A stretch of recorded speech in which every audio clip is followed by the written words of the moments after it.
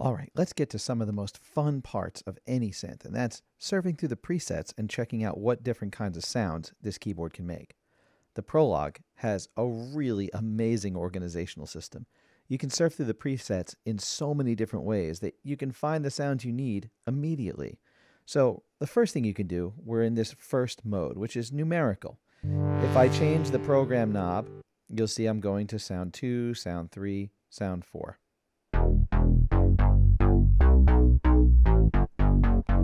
So right there, I'm on sound four. Now I'm on sound five. So that's straight up numerical order. If I tap this program sort, the second button, I'm going to switch to category. If you tap it a few times, you can see the different categories. I mean keyboards, chords, arpeggiators, combinations, sound effects, polysynths. So now when I rotate, you'll see it's jumping through different numbers 21, 22, 23, 24. It's going numerically for now, but then it's going to skip ahead. Um, 249, 248. You know, these are all of the polysynth type sounds, and you're leaving out all the others. If I tap the third button, I'm in alphabetical mode. Now starting to go stab, stabby, stairway, star. So obviously it's uh, it's working.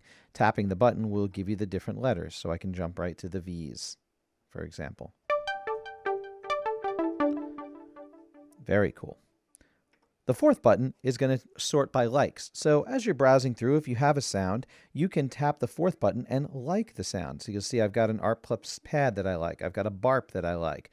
So any sound that you tag with a like will have that little star next to it in the upper right corner. And you just tap and hold it to tag it as, you know, a liked sound. That's it. So the fifth button is frequent sounds. As you start to use sounds more and more often, it's going to sort them by the frequency that you use them. So, sort of like a little AI sorting for you, automatically sorting sounds, you know, that you can find your go to stuff right away.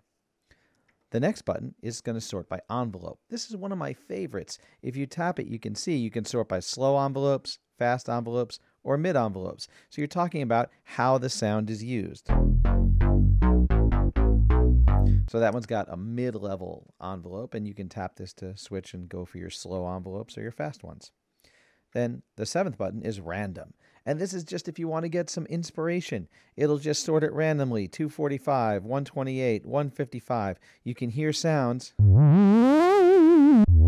that you never get to. You know, sounds that you find that you ignore or pass by, or maybe you don't get to them because they're up on the high end of things. So you've got a really great way that you can organize these sounds. And the last button is going to go to live set, and that we'll talk about a little later, but that's basically your ability to just make your own bank of presets that you use often and kind of put it in whatever order you want. So there's really, really an excellent, excellent organizational paradigm on this synth. You can find what you need really fast.